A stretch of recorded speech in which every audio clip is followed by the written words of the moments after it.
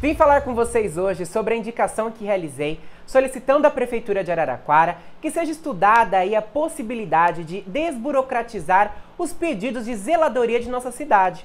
Hoje, muitos dos documentos são solicitados, além de ser um processo moroso e dificultoso para solicitar uma simples poda de árvore ou uma limpeza de um terreno. Precisamos aproximar a população da máquina pública, pensando sempre na facilitação de acesso a serviços que são de direito da população. E aí, o que você achou dessa indicação? Aguardo sua opinião aqui nos comentários. Até breve. Tchau, tchau.